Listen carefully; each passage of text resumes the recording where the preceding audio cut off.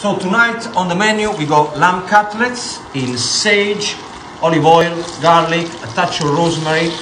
I'm going to sew them then, and then I want you guys to tell me exactly what you're going to cook.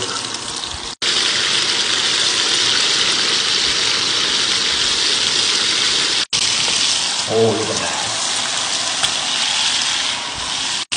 Now let me show you what I'll do. I'll move the cutlets on one side so you get all the flavor of the meat into the oil. And then on the other side, I'm gonna welt my spinach.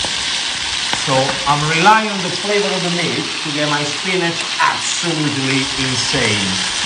Alright, on one side, little seasoning on the spinach. That's it. And there you have it, my lamb cutlets with spinach, garlic, olive oil, ready for the tea. Okay, so tonight, porcini mushroom with garlic, rosemary, a little bit of thyme, extra virgin olive oil, served with fresh pappardelle. Okay, now we're gonna go with strips of fillet of beef. Just like that. I've added a few more local mushroom.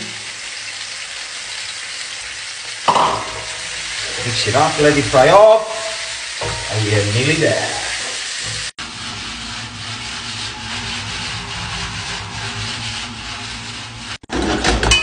Rule number one when making pasta. Pasta goes straight into the sauce. So then you flavor the pasta before it goes into the dish. Just like that. Hi guys, I hope you're all well. Now I'm going to show you how to prepare this beautiful piece of beef there. I'm marinated with chili, garlic, a little bit of fresh rosemary. Now the secret is very simple. First of all, hot griddle pan. Make sure that it's hot because you really want to, this is what you want to hear. Look, because we're going to sear it. Listen to that. Okay, very important. Whenever you cook meat, never season the meat at the beginning because otherwise what's going to happen? You're going to drain the moisture from the meat. Okay, so season at the end. Okay, I'm going to give you another tip now. Whenever you cook meat, don't move it too much. You only turn it once. Look at this. Ready? Job done.